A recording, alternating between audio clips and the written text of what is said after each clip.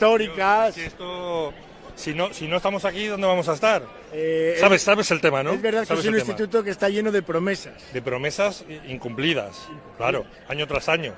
Único eh, municipio de toda España con más de 15.000 habitantes que no tiene institutos, lo sabes, ¿no? Yo, yo creo que lo sabe, lo sabe toda España ya. Claro, porque os concentráis una vez al mes. Bueno, es que la pandemia también ha pasado factura, ¿eh? Pero bueno, hoy empujando, hoy por, empujando por León no podíamos faltar, ¿no? Tenemos que estar eh, defendiendo León, defendiendo las inversiones en nuestra provincia, en nuestra capital, pero sobre todo en el Alfoz, que es lo que representamos nosotros, Villa Aquilambre, que tenemos 2.900 niños, siempre lo decimos, con menores de 14 años y que no tenemos instituto. Y esto no puede ser que un año tras año sigan prometiendo y no cumpliendo. O sea que bueno, a ver si estamos ahí. Siendo sincero, ¿ve más cerca o más lejos la creación de este instituto? Hombre, lo creo, lo veo más cerca porque somos muy pesados. Muy pesados. Los vecinos de Villacarme somos muy pesados y no vamos a parar. O sea que en todas las que haya, todas vamos a estar. Y yo creo que al- tarde o temprano se van a cansar de nosotros. O sea que sí. Está perfecto, muchas gracias. Gracias a ti. Pues también